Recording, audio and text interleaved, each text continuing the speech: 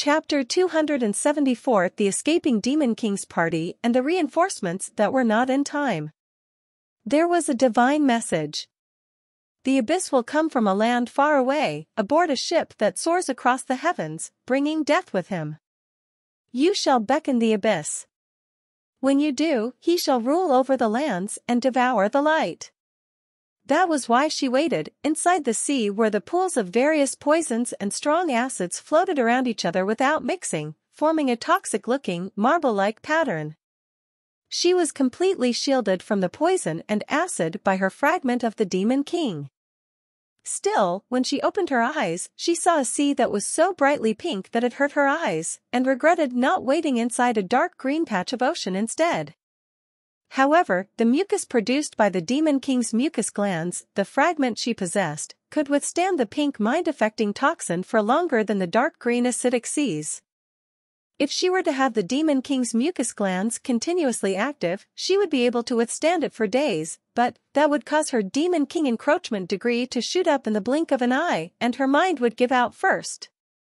Thus, she had been keeping the Demon King's mucus glands mostly dormant, activating them only to secrete enough mucus to surround herself with. Even when she stopped using them actively, the mucus they secreted lingered. With this method, she had managed to keep the level of her Demon King encroachment degree low for years. Still, I have recently been feeling odd sensations more frequently a strange elevation of spirits, and an impatience as if I am being kept in suspense. Is that because of this abyss as well? She often felt these sensations the moment she activated the Demon King's mucus glands, and immediately after she stopped using them. Considering that, it was likely being caused by these detestable mucus glands, but... Yes, detestable. I must not forget. My kin and I have managed to come this far because of our faith in our God and our mission to protect the fragment. And it was the power of this fragment that allowed me to escape to this place from the Bon Gaia continent with my surviving kin after being wounded by the cursed five-colored blades. But it is a part of the detestable demon King Gudurani's. I must not be misled, she told herself. But today was a strange day.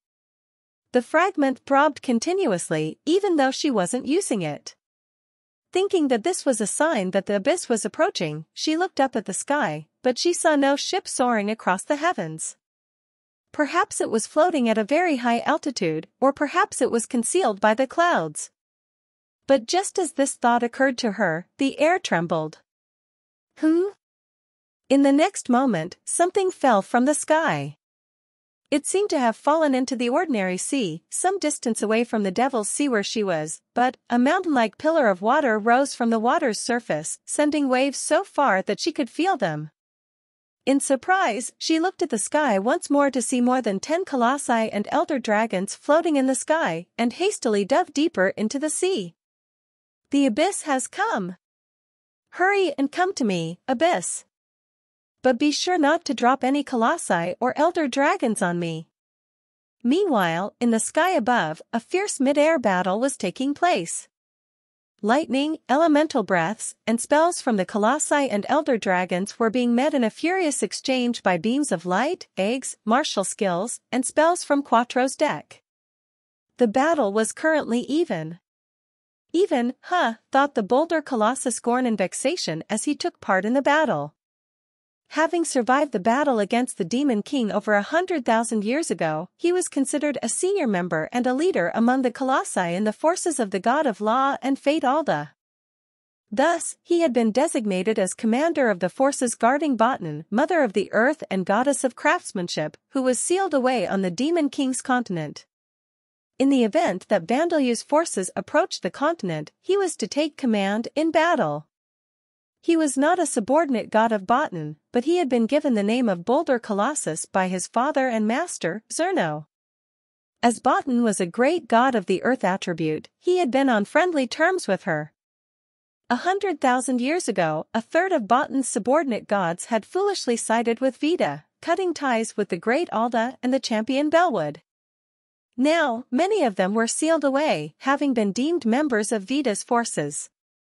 Another third of Botan's subordinate gods had been sealed away with her, and only the remaining third were among Alda's forces. Some new gods of the earth attribute had been born in the hundred thousand years that had passed since then, but because Botan had fewer believers than gods like Alda or Nine Road, there still weren't as many earth attribute gods as there had once been. Thus, only a handful of earth attribute gods were among the forces who protected the goddess under Gorn's command, and none of them were present in this battle.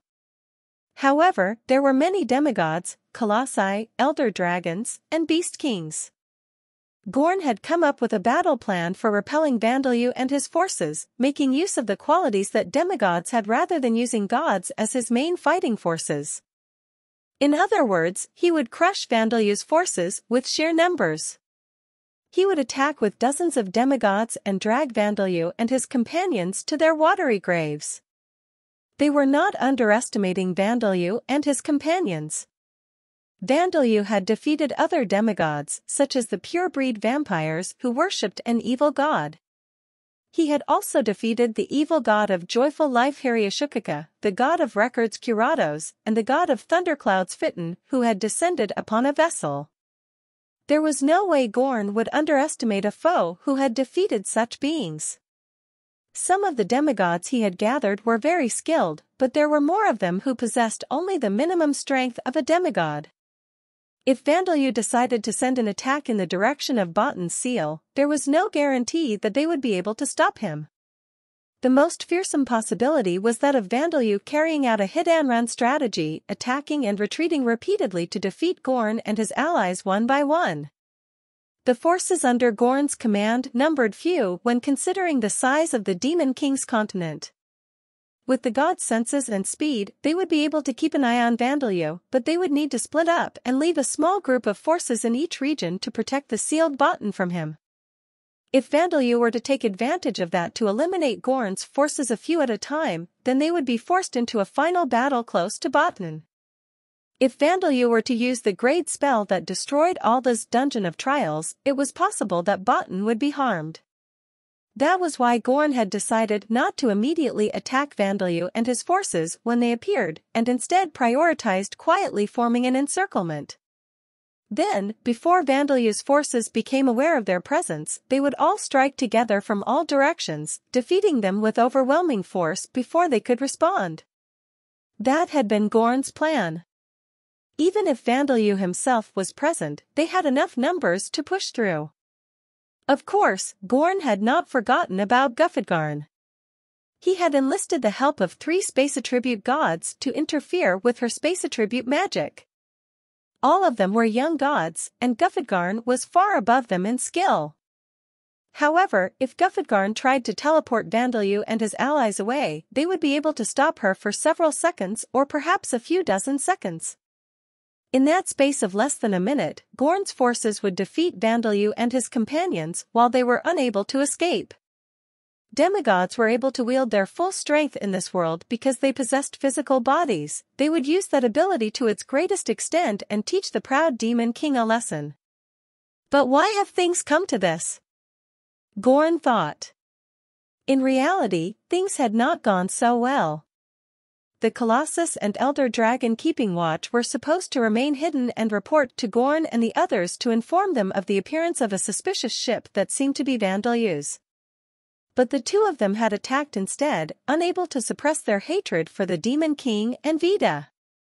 Immediately afterwards, Gorn and the others noticed the resulting emergency situation due to the enormous pillars of water that had acted as a signal, but less than a third of the numbers Gorn had arranged for had been able to gather quickly enough.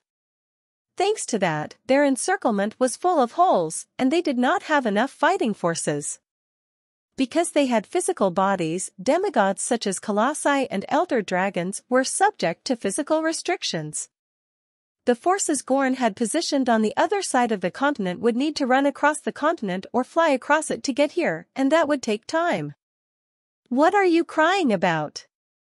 Have you grown so senile that you have forgotten that it is only natural for unexpected situations to arise on the battlefield? said Bradio, the shaggy-haired, scraggly-bearded colossus of roaring thunder, as he brought a lightning attack down on Quattro. But these words were not convincing to Gorn. One of the ones who got ahead of themselves was your own son. Gorn shouted furiously. The Colossus who had attacked Vandalieu was the Colossus of Lightning Radotel, one of Bradio's sons. Yes, it was. Bradio shouted back, unwavering as he continued attacking Quattro. My son Radotel fought bravely to take vengeance for his dead mother upon the accursed Demon King. Come, proud descendants of Zerno.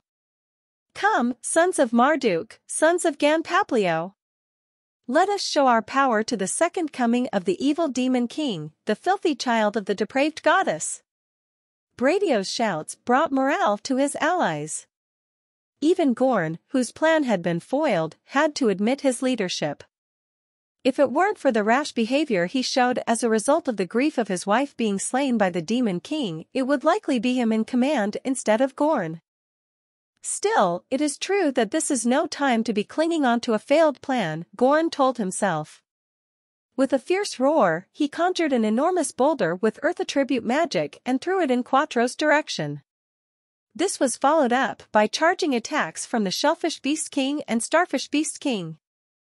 Quattro had held up against the attacks so far, but with an enormous boulder and two Beast Kings closing in, it looked like her fate was sealed. However, a woman leapt into the air and smashed the tower-sized boulder into pieces, and a mysterious spell sapped the momentum from the Beast Kings, immobilizing them mid-air. On top of that, Bradio's lightning collided with a membrane of water that blocked it out. What?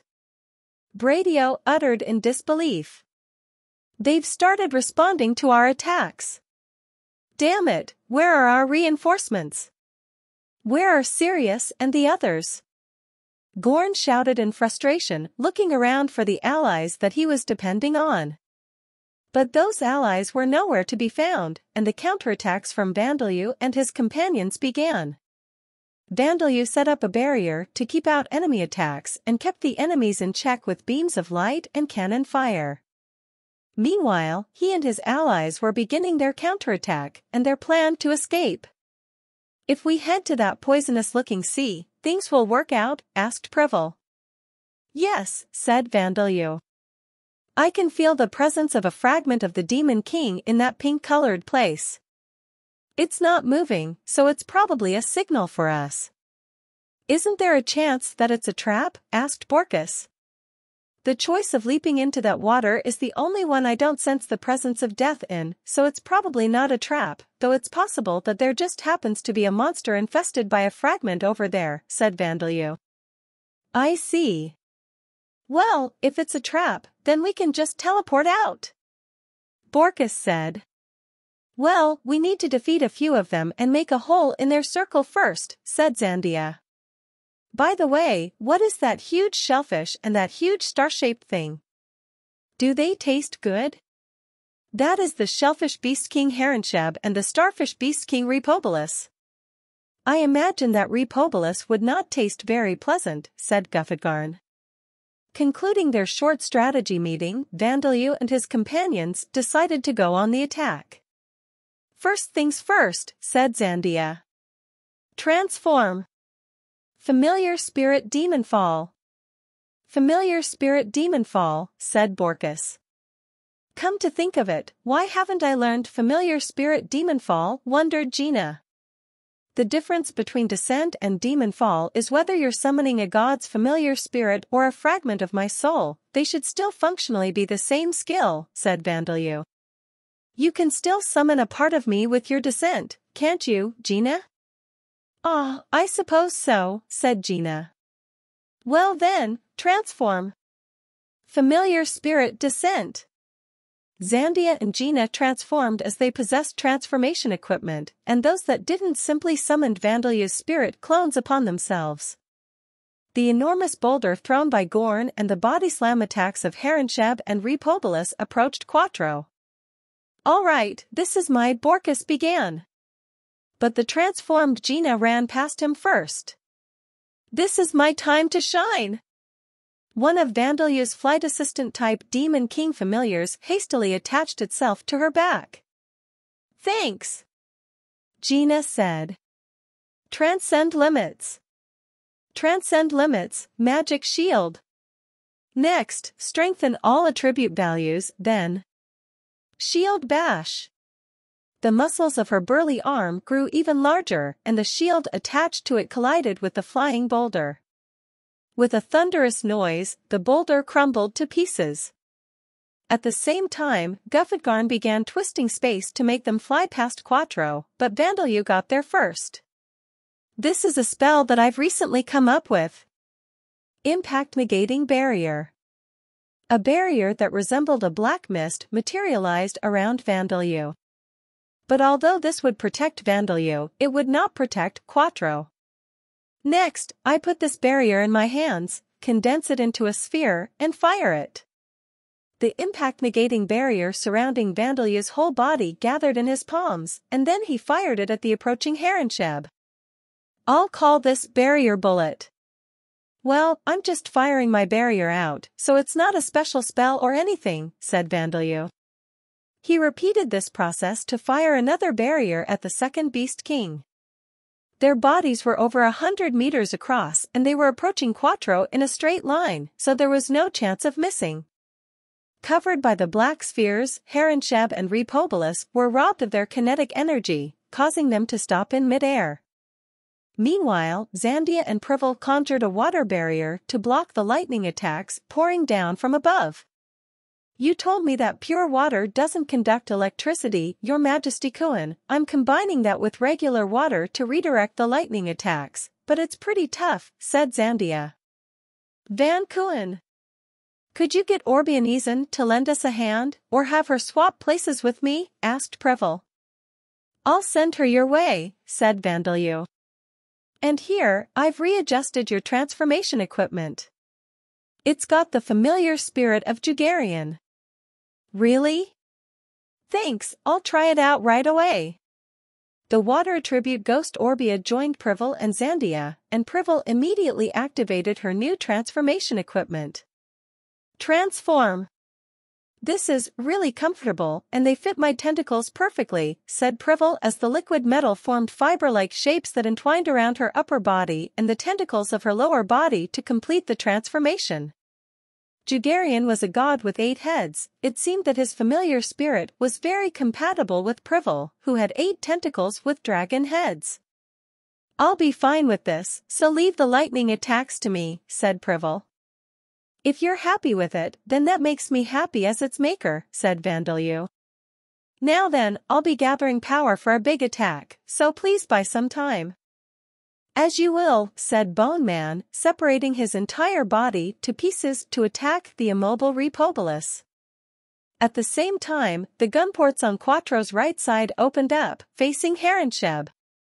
Vengeful berserk starboard cannons, you're up, said one of the four Dead Sea captains. We won't let you, shouted a colossus wearing golden armor. He and an elder dragon that resembled the great vortex dragon Godsfold but was smaller than him charged towards Quattro to save their immobile allies.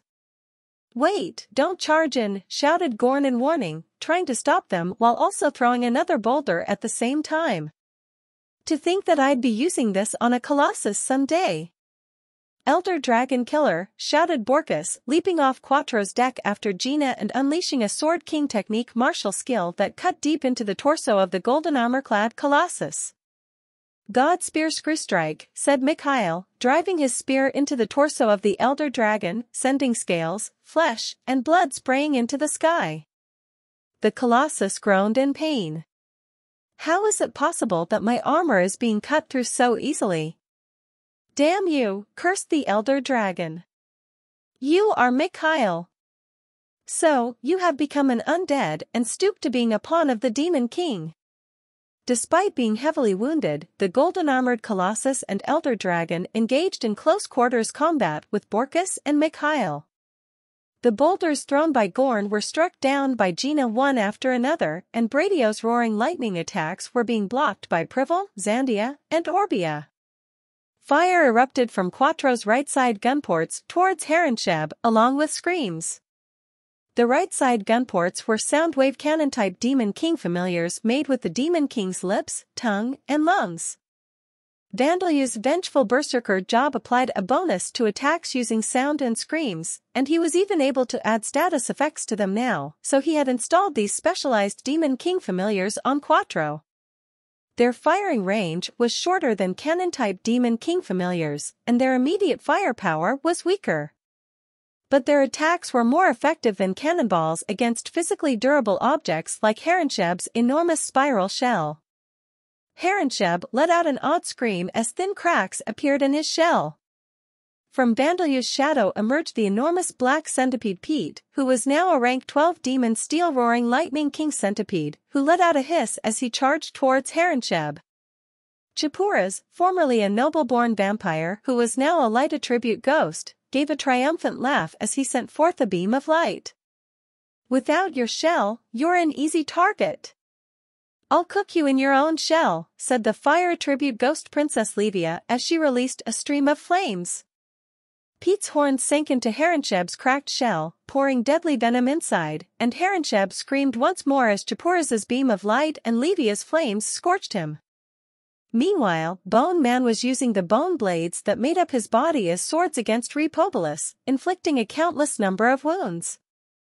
Starving Bone Blade Storm, Ju, I do not know where his weak points are. Repobolus was the starfish beast king. Unlike the colossi and elder dragons, it was difficult to tell where his weak points were. On top of that, starfish were creatures with high vitality, as the starfish beast king, Repobolus was capable of regenerating his body even if he were cut into two. But there was no way that he would feel no pain when his entire body was being cut up. He let out a strange scream and tried to spin his body around in place to repel Bone Man, but as Vandalieu's impact-negating barrier remained in place, he could not move very well. The counterattack of Vandalieu's companions had inflicted severe wounds on several gods, but none of them had been defeated yet. It could be said that Gorn and his allies were managing to hold on with only a third of their numbers because they had forced Vandalieu to be on the defense against their attacks.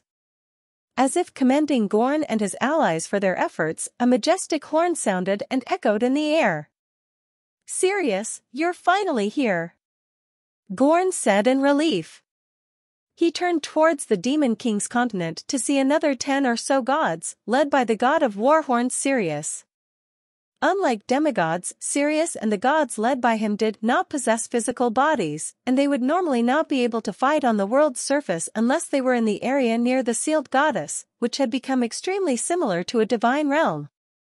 In order to make up for that, Gorn and the others had turned a part of the sky above the Demon King continent into a partial divine realm.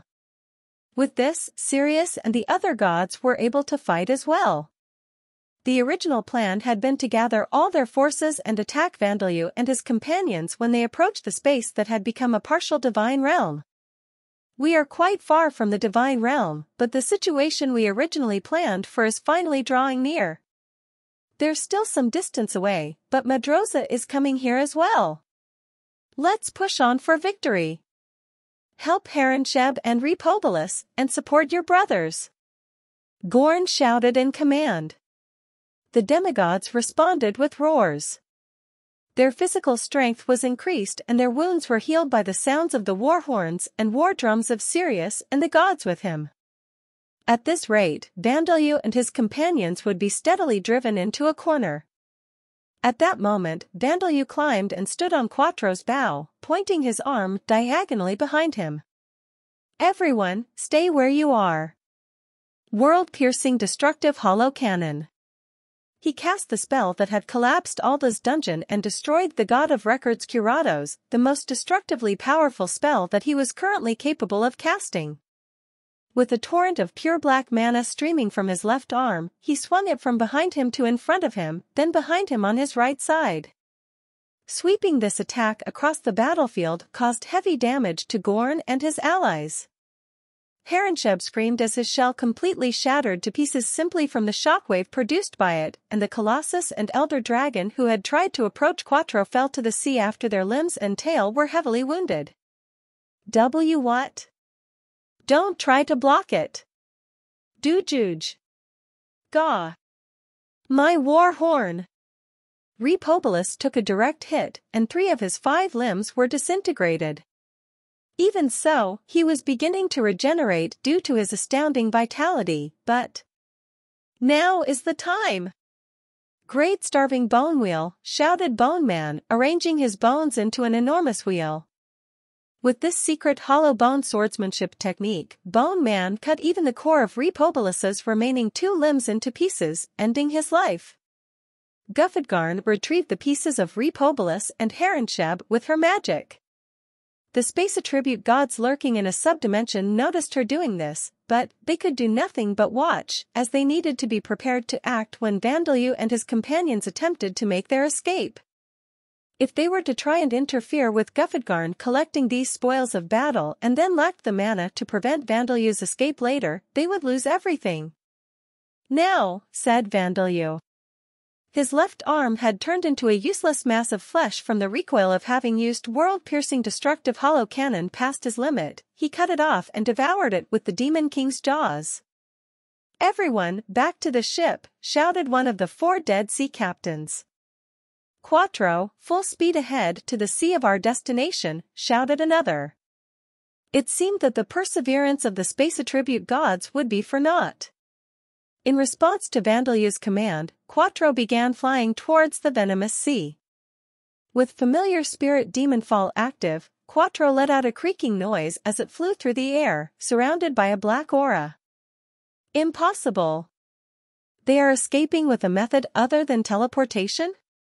Gorn shouted, astounded at this unexpected development as he desperately tried to stop Quattro. That's why I told you. You never know what will happen on the battlefield, said Bradio as he followed. But Gorn and Bradio had been keeping their distance during their battle, they could not catch up to Quattro. Raditel, the Colossus of Lightning, and Svold, the great vortex dragon god, the two demigods who had been sent sinking into the sea after being struck by egg projectiles and beams of light, let out fierce roars as they re-emerged from the sea and stood in Quattro's path. Leave it to me, old man, Raditel shouted. Extreme iceberg, said Zandia, conjuring an iceberg. I've never tried this before, but conjure ice dragon pack, said Privel, summoning a multi-headed dragon made of ice. Pete let out a fierce hiss as he extended the top half of his body from the ship. The iceberg, the dragons and Pete's horns collided with Raditel and Svold. Raditel and Svold had already been covered in wounds, they were unable to withstand this attack. Pete possessed the Dragon Devourer skill, Svold was struck by his horns and poisoned by the deadly venom secreted from them, and his body was split in two before he could even let out a dying scream. I'm sorry, father, Raditel whispered. He couldn't withstand these attacks for long either. With a final ballista shot from Quattro piercing him, he fell as well. Curse you! How dare you kill my son, shouted an enraged Bradio. But Quattro sank below the surface of the pink sea. Disinfect, continuous cast, said Vandalieu, casting the death attribute spell that neutralized poisons that were harmful to people as soon as Quattro hit the water, turning a part of the pink sea into ordinary seawater. By the time Vandalieu realized that there was a merfolk enveloped in a membrane-like object, Quattro was already completely submerged. The levels of the Dark King magic, super rapid regeneration, self-regeneration, cannibalism, strengthened attribute values, cannibalism, precise mana control, scream, and Demon King artillery technique skills have increased. The alchemy skill has awakened to divine alchemy. Name, Pete. Rank, 12. Race, Demon Steel Roaring Lightning King Centipede. Level, 60. Passive Skills. Hunger Resistance, Level 3. Self-Enhancement, following, Level 10. Deadly Venom Secretion, Neurotoxin Jaws, Level 2, awakened from Venom Secretion. Wind Attribute Resistance, Level 10, level up. Super Strengthened Body, Exoskeleton, Horns, Level 2, Awakened from Strengthened Body. Monstrous Strength, Level 3, Level Up. Self-Enhancement, Guidance, Level 6, Level Up. Rapid Healing, Level 6, New. Strengthened attribute values, Predator, Level 5, New. Night Vision, New. Active Skills. Silent Steps, Level 1. Ferocious Charge, Level 1, Awakened from Charge. Transcend Limits, Level 3, Level Up. Armor Technique, Level 9, Level Up. Roaring Lightning, Level 2, Level Up. Coordination, Level 6, Level Up. High Speed Travel, Level 1, New. Familiar Spirit Demon Fall, Level 2, New. Unique Skills. Dragon Devourer, Level 9, Level Up. Xanopodna's Divine Blessing. Vandalieu's Divine Protection. Monster Explanation, written by Luciliano. Demon Steel Roaring Lightning King Centipede. Pete has reached rank 12 and is on the verge of rank 13, a rank that possibly no centipede has ever reached. Literature does not say whether something like a beast king of centipedes existed. However, if one did exist, then Pete would be close to being on equal terms with it. He is quite enormous, his body is several dozen meters long. When he emerges from Master's shadow, even I mistakenly think for a moment that Master is showing his true form. This must be because of the incident where Master clung to Pete's stomach when he saved Jazania's life, though it doesn't seem that Master intended for that. Now that he has consumed a true elder dragon, as opposed to a lesser dragon, we can expect more growth from him in the future. Incidentally, when he wants to travel quickly, he apparently holds his tail with his mouth to form a ring that rolls across the ground. Name, Privel. Age, 19 years old. Title, None. Rank, 9. Race, Scylla Origin High Druid Princess. Level, 0. Job, Magical Shaman. Job level, 0.